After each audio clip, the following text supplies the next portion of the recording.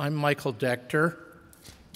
Your Honor, family, friends, and friends of the Walrus, I feel very welcome to be at this special celebration of Canada in this very special place, both the Canadian Museum for Human Rights and Winnipeg, my birthplace and spiritual home. We celebrate not only 150 years of Canada, but also 35 years of the Charter of Rights and Freedoms. In 1912, my grandfather, Harry Decter, and his family were driven out of their home in Russia by a pogrom and by Cossacks. They sought a better country and a better life, and they found it right here in Winnipeg. My father, Percy Decter, was born in 1918 on Christmas Day. He was a very bright, hardworking student. He grew up on Machray in the North End. He attended St. John's High. His father, my grandfather, Harry, drove a streetcar for the Winnipeg District Electric Company, did participate in the general strike. Um, he and his wife Edith had four children, three sons and a daughter. Uh, Percy, my father, was the oldest. No one in the history of our family had ever attended or graduated from university. In 1935, Percy graduated at the top of his high school class, but his family lacked the financial means to support his university enrollment. The transformative event in Percy's life and in the fortunes of our family was the Isbister Scholarship. The $50 per year provided by the Isbister enabled him to attend university. Eventually, he graduated with the gold medal in medicine. Later, he became an orthopedic surgeon. For over 30 years, Percy cared for thousands of patients with broken or displaced bones. He was a proud partner of the Manitoba Clinic. All three of Percy's siblings also attended university. Oscar became a family doctor, Marge became a nurse, and Alan a pediatric surgeon. Since Percy, everyone in our family has graduated from university. Myself, my five brothers and sisters, and in the next generation, 12 of our children. Percy would often tell me when I was a child, without the Isbister scholarship, I would not have been able to go to university.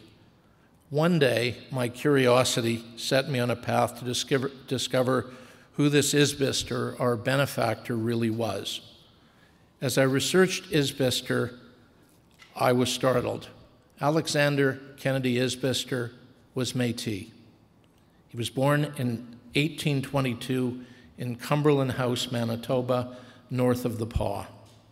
His father was a postmaster in the service of the Hudson Bay Company, and he was killed by a bull in Norway House when Alexander was 14. His mother was Cree and the sister of Arctic explorer William Kennedy. Isbister was educated in Scotland and at St. John's School in Winnipeg. He joined the Hudson Bay Company and served at Peel River in the Arctic.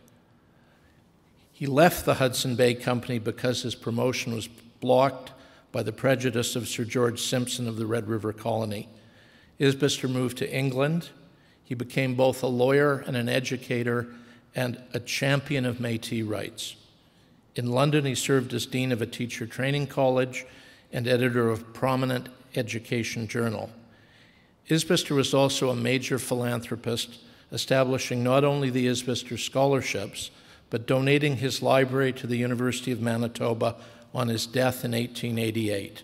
It became the basis of the University of Manitoba's library. Isbister never married and left, according to the history books, no heirs.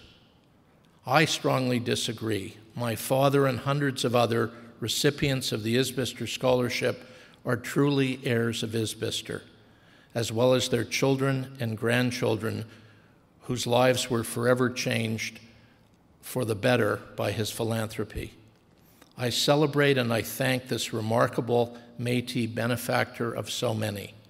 I thank Alexander Kennedy Isbister for his generosity that transformed the lives of my family and so many others. The gift of education is transformative, and Isbister clearly understood this truth. In the 1930s, however, tragedy befell the University of Manitoba. The board chair, a prominent Winnipeg businessman, stole the university endowment, including the Isbister bequest, and squandered the money. He was eventually arrested, tried, convicted, and jailed, but the lost money could not be recovered. The government of Manitoba continued the Isbister scholarships, but the value was no longer transformative. The Isbister lives on, but provides only a small fraction of what is needed to attend university. One of my life goals is to see the Isbister scholarships restored to their original transformative value. Imagine if the top graduating students in every high school in Manitoba had an Isbister scholarship to ensure their ability to attend university. Imagine the wonderful leadership that would ensure for our province. I also observe that we often conceive history according to stereotypes uninformed by our actual stories. Many successful Manitoba families, including my own, owe a huge debt to the Metis educator, philanthropist, and visionary Alexander Kennedy Isbister. We have been asked to answer the question what is one thing Canadians can do today to make the country better? We can learn the lesson that is so clear from the life and gift of Isbister support students to attend higher education and support them as he did without distinction of race, creed, or nationality. In a world on the slippery slope to erecting barriers and borders, of judging people once again by the color of their skin or their religion or their nationality, Isbister inspires us to put aside prejudice, fear, and ignorance and embrace our better angels. That was my answer to the question, and it was also Isbister's answer and his legacy. Thank you very much.